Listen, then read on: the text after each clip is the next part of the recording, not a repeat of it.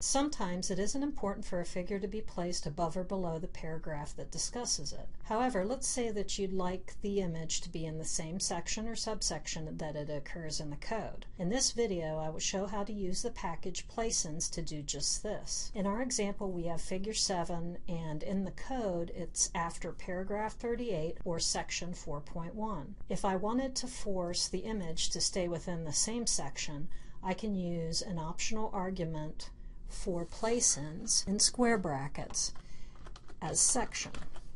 When I generate the document, it does place it in section 4. If I want the barrier to be anything but a section, the command float barrier must be used in the command that sets the formatting for the partitioning item I want to use. You can find this command in the class file that you're using. I'm going to delete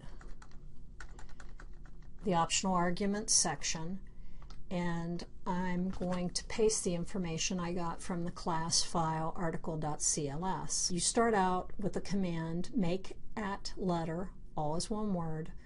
Then you'll get a copy of the commands for the subsection from article.cls and you're going to change command to renew command. And then after renew command, then I want the command backslash make at other. And this belongs in the preamble, which is before begin document. Since I want everything else the same, all I'm going to do is put in my float barrier.